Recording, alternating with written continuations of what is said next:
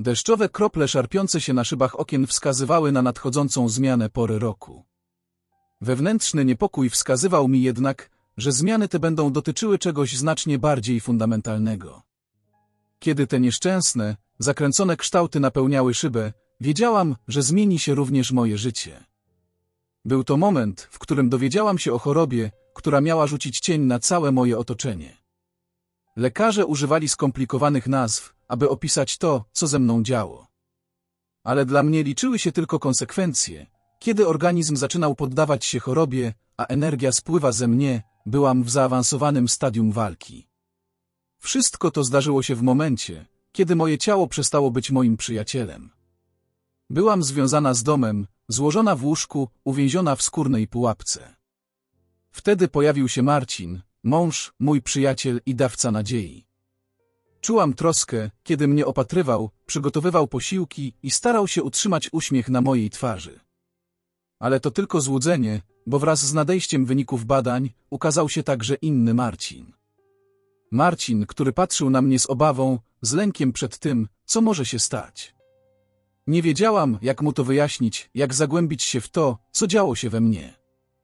Gdy wreszcie przyszła ta chwila, ta rozmowa, moje serce walczące z chorobą z trudem próbowało zrozumieć, co Marcin mówił.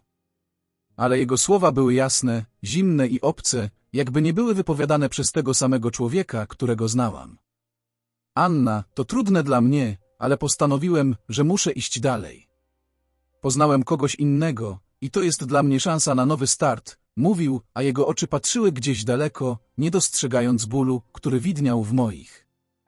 Wszystko, co obudowało naszą przeszłość, nasze wspólne marzenia, było teraz tylko wspomnieniem. Moje serce pękło na pół, a myśli krążyły w chaosie, próbując zrozumieć, jak to możliwe. Jak można zostawić swoją żonę w tak trudnym momencie? Jak można odejść, kiedy jesteśmy sobie najbardziej potrzebni? Niezrozumienie, ból, poczucie porzucenia. To były uczucia, które towarzyszyły mi w tamtym momencie. Wszystko, co było pewne, zniknęło w tej chwili. Opuszczenie Marcina było równie bolesne, co moja choroba, ale te dwie rany, które poczułam wtedy, nie dały się porównać. Samotność była teraz moją stałą towarzyszką. Pozostawił mnie nie tylko Marcin, ale także zdrowie. Kiedy choroba zaczęła wycofywać się, odkryłam, że przeszłość również odeszła. Wszystko, co było, a jednocześnie już nie istniało, tworzyło pustkę wewnątrz mnie. Codziennie wstawałam, patrzyłam na lustro i widziałam nie tylko swoją twarz, ale także cień tego, co się stało. Każdy nowy dzień wydawał się niewielkim triumfem, choć była to walka wewnętrzna. Nie tylko walka z chorobą, ale także z myślami i emocjami, które nadal mnie dręczyły. Na zewnątrz uśmiechałam się i starałam się ukazywać pozytywną stronę życia, ale w środku tkwiłam w labiryncie myśli.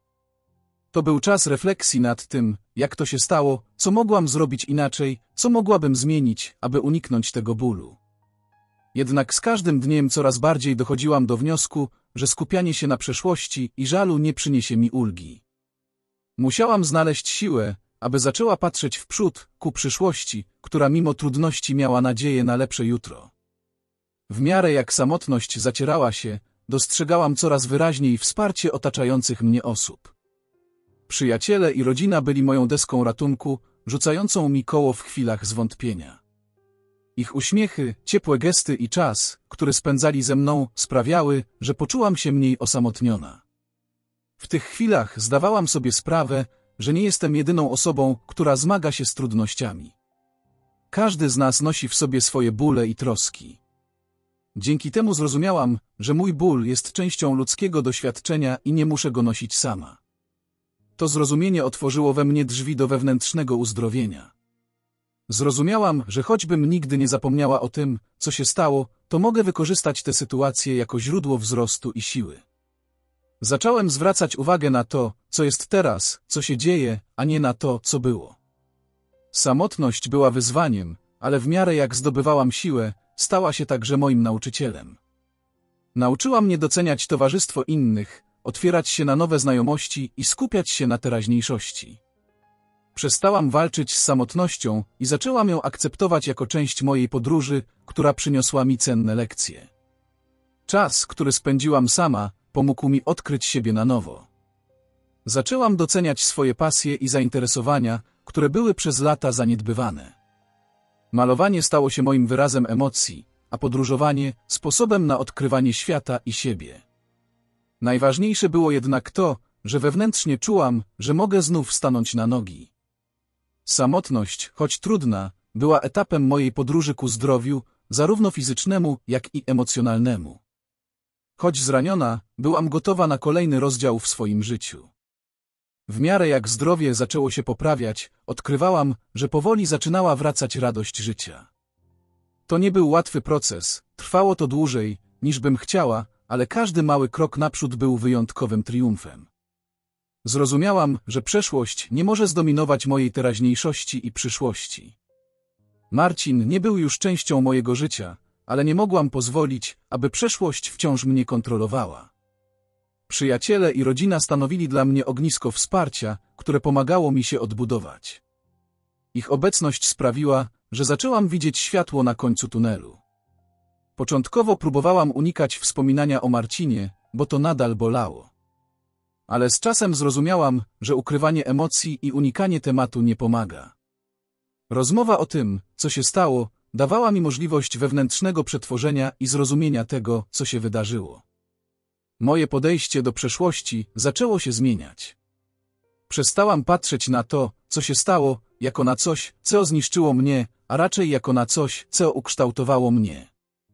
To była część mojej historii, która uczyniła mnie silniejszą i mądrzejszą. Jednego zimowego dnia, kiedy mgła unosząca się nad parkiem dawała temu miejscu tajemniczy blask, zauważyłam go. Adam, z ciepłym uśmiechem na twarzy i oczami pełnymi ciekawości, zbliżył się do mnie. To było takie niespodziewane, że przez chwilę poczułam, jakby czas stanął w miejscu. Rozpoczęliśmy rozmowę, a jego luźne pytania przerodziły się w ciekawą konwersację. Był to moment, w którym zrozumiałam, że mimo bolesnych doświadczeń, mogę znów otworzyć się na innych ludzi. To była szansa, by poznać kogoś nowego, z kim mogłabym dzielić swoje myśli i emocje. Jego obecność dodała mi nową perspektywę na życie. Przestałam patrzeć wstecz na to, co się wydarzyło i zaczęłam patrzeć przed siebie. Adam był swoistym przypomnieniem, że miłość i szczęście mogą wrócić do mojego życia, jeśli tylko pozwolę sobie na to. Podczas gdy Adam przynosił mi radość i miłość, zaczęłam odkrywać nowe znaczenie życia. Nasza relacja była pełna ciepłych i szczerych chwil. Jego uśmiech był lekarstwem na moje rany, a jego optymistyczne podejście do życia stawało się dla mnie inspiracją. Wspólne rozmowy przynosiły ulgę mojej duszy. Adam słuchał mnie uważnie, nie oceniając, a jednocześnie zachęcając mnie do wyrażania swoich uczuć i myśli. W miarę jak spędzaliśmy więcej czasu razem, zaczęłam doceniać jego otwartość i gotowość do dzielenia się swoim światem.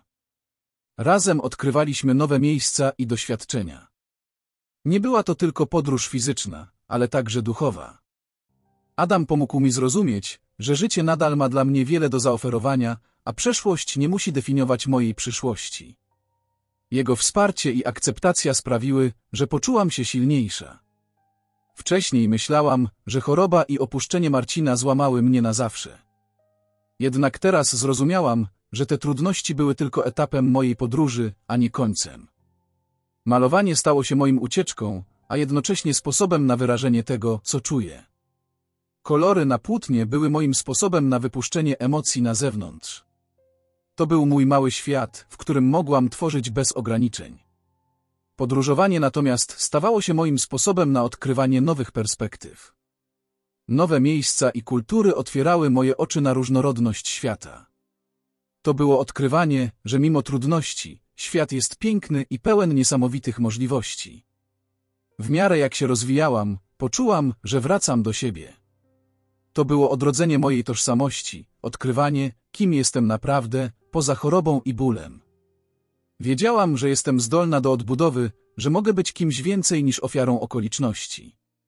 Kiedy zaczęłam aktywnie angażować się w nowe projekty, poczułam, że życie ma dla mnie wiele do zaoferowania. To było związane z pokonywaniem strachu i wątpliwości. Adam był moim wsparciem i katalizatorem do działania. Zrozumiałam, że przebaczenie nie oznacza zapomnienia, ale pozwolenie sobie na wyzwolenie spod kontroli przeszłości. Uczę się żyć teraźniejszością i cieszyć się tym, co jest tu i teraz. Przeszłość nie może już zdominować mojego życia, ponieważ to ja decyduję, co definiuje moją tożsamość. Przez to wszystko zrozumiałam, że samotność nie jest tym, czym się stała. Była to tylko faza mojej drogi, która miała nauczyć mnie doceniać bliskość i wsparcie innych ludzi. Adam pokazał mi, że miłość i zaufanie mogą być naprawdę piękne i uzdrawiające. Nasza relacja z Adamem była wspaniałym przypomnieniem, że wartość i siła tkwią w nas samych. Jego obecność pomogła mi w procesie akceptacji samej siebie, z kompletną historią, włączając w to również ból i trudności. Ostatecznie, to, co razem odbudowaliśmy, przerosło nasze osobiste historie. Nasza miłość i wzrost były przypomnieniem, że życie może wydobyć piękno z najbardziej trudnych doświadczeń. To było odkrycie, że przyszłość może być jeszcze bardziej wspaniała niż się spodziewałam.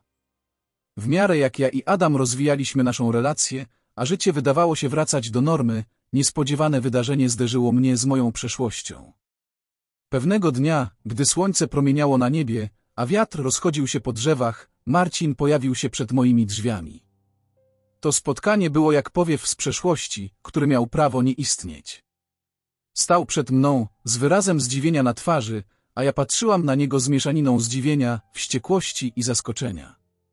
To, co chciał odzyskać, było jednym z ostatnich elementów naszego związku, który ostatecznie nie przetrwał.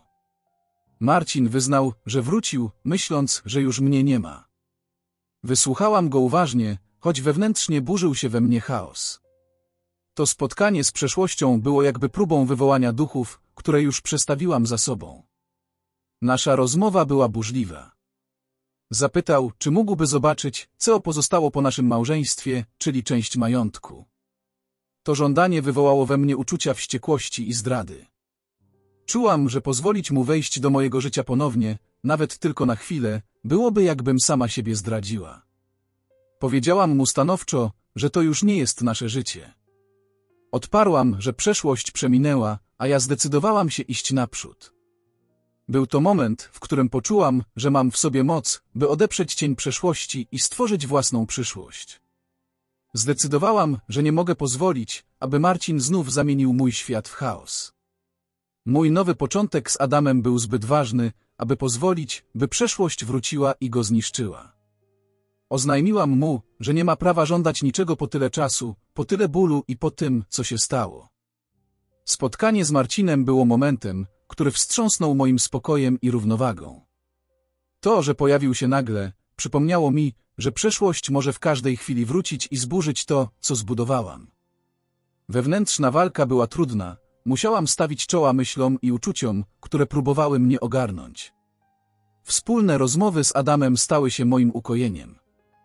Był moim wsparciem, kiedy próbowałam zrozumieć, dlaczego Marcin zdecydował się wrócić.